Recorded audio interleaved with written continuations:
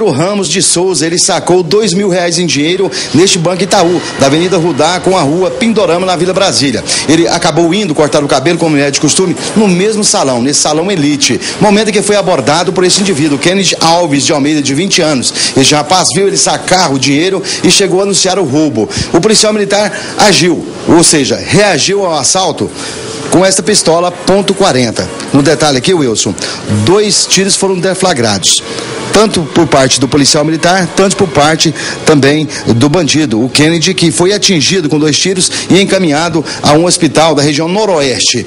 Policiais da Rotan fizeram aí a apreensão eh, deste rapaz, a prisão deste rapaz e a apreensão do revólver, encaminhando aqui para o segundo DP. É legítima defesa própria de terceiros.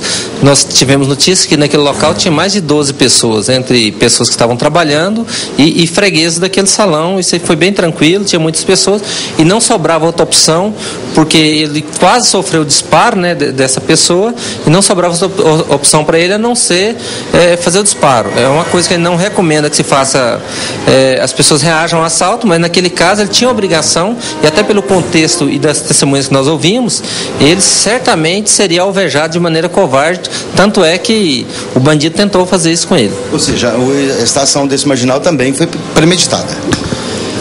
Eu acredito que sim. Isso aí é o conhecido saidinha de banco, tem toda a característica, né? Que ele seguiu dentro do banco, tinha alguém avisando, e tentou roubá-la. Eles estavam pensando e que ia ficar numa situação favorável e acabou que, que recebeu é, é, esses disparos. É, às vezes a gente, sai, a gente sai meio atento, mas quando eu cheguei no local já conhecido, com, com vários amigos, de policiais, tinha o policial Soldado Souza, eu fiquei à vontade, não, não imaginava. Ele chegou e bateu no meu ombro, bateu no meu ombro e falou assim: passa a grana que você pegou no banco.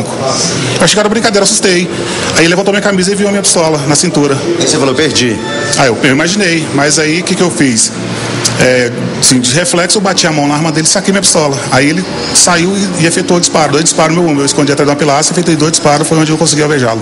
E já gritei pro Souza, pega a moto e vamos, vamos pegar eles. Aí a gente estava até uma distância mais ou menos dos 200, 300 metros deles, só que a, a, a moto estragou, do soldado Souza a moto estragou, e aí foi onde eles conseguiram efetuar a fuga deles. E agiu de extrema assim, capacidade de defender nós todos que estavam sentados aqui, senão... Agido de tal forma... Na, com certeza tinha acontecido uma desgraça muito grande aqui. Mas o bandido fugiu!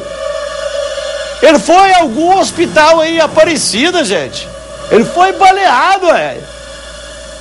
Que coisa, o bandido conseguiu fugir. Foi assaltar um policial militar ao retirar dois mil reais do banco. O bandido conseguiu fugir, hein? Interessante, interessante. Será onde está esse bandido, hein?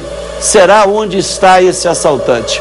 Olha, eu quero mandar aqui um grande abraço ao meu amigo Tchãozinho do Cais, que é vereador. Ô, Bobino, eu levei.